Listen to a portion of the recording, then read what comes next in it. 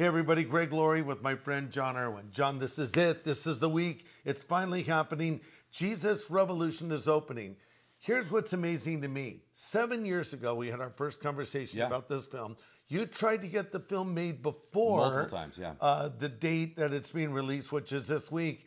And there were various obstacles, and we couldn't get it done. But now it's coming out, and it just so happens that God's Holy Spirit seems to be falling on young people on college campuses, specifically at Asbury College in Kentucky. And Yeah. now we've heard it spread to other campuses. You've heard the expression life imitates art, right? So this movement happened, the art, the film is made to show it happened, but now we see it happening again. So it's almost like all of this is coinciding. It's almost as though the Lord is saying, I want you all to know I'm here. Mm. You see Jesus uh, in Super Bowl ads. You see Jesus uh, portrayed so beautifully by Jonathan Roumie and the other actors in the incredible series called The Chosen.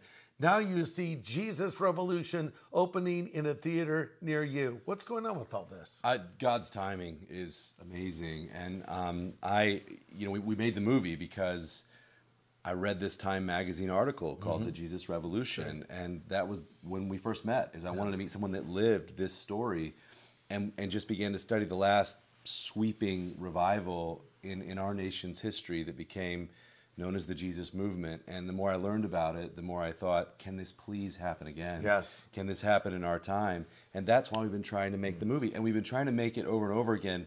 We were almost there when COVID shut all productions down. And God just had a timing for this movie. A big part of the Jesus movement in 1970 was this revival at Asbury at, at Hughes Auditorium.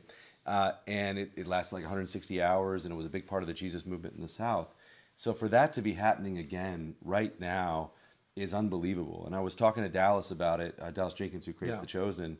We didn't plan to have The Chosen season three. Yeah. This He Gets Us campaign, and then Jesus Revolution all in the Yeah. same month. But February has become this month of Jesus, you Yeah, know, which you know in the entertainment industry, which is insane. And so, Yeah. about a week and a half ago, I guess I um, was wrapping another movie in in uh, in Kentucky, and so I was in Kentucky, and it was like day two or three of, of this revival, and uh, my wife was with me, and, and and we were sixty miles away, and I'm like, I saw a post on social media, and I'm like, let's just go. Yeah. And so I, we went over. And just sat. and At that point, it was early, so you could just walk right in and sit down. And and I just wanted to listen. And uh, and we sat there and listening to the stories that these college kids were sharing is so much of everything that we've been praying for and then also so much of what we dramatized in the film i Yeah. think you called me and said what did it feel like and i'm like it was exactly like the scenes Wow. in the movie so i just think for my for, for this time um, in the research I, I heard the word desperation come up a lot you Mm. Yeah. said it the late 60s was a desperate time Yeah. so similar Yes. to the times that we're in now and i just think we're back in that moment of desperation. Yeah. And I really think that this could happen again. And that's why we made the movie. That's been the heartbeat of the film the whole time.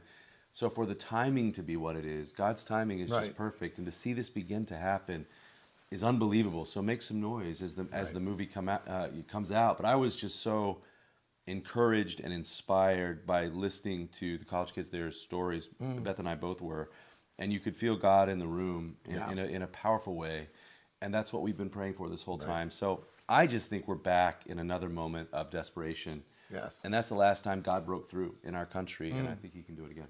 Yeah, think of the Jesus Revolution film as a tool, not just a movie. It's a tool for you to use. Uh, it's a tool for you to take a non believer to. Check this out. You can even get an evangelistic conversation going by simply asking someone, Have you heard about this movie, Jesus Revolution? Good chance they have. You can say, Google it right now. And the point is, you can start a conversation about Jesus. It's been said that the fame of revival spreads the flame of revival. Jesus Revolution is a true story of what happened to me and my wife Kathy, how we met. It's a love story. It's a story of a pastor who was struggling, Chuck Smith, a hippie evangelist that came to him, and Chuck opened his heart and the doors of his church to this preacher, and an explosion happened. And we're praying that this movie will inspire all of us to pray for another spiritual awakening. Get your tickets. Go see Jesus Revolution, February 24th at a theater near you.